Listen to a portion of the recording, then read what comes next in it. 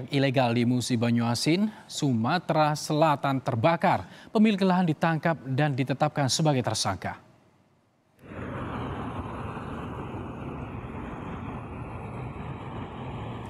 Kebakaran hebat melanda sumur minyak ilegal di Musi Banyuasin, Sumatera Selatan.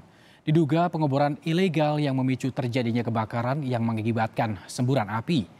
Meski tak ada korban jiwa, namun semburan api bercampur dengan minyak mentah ini sulit dipadamkan. Pemilik lahan pun ditangkap dan ditetapkan sebagai tersangka.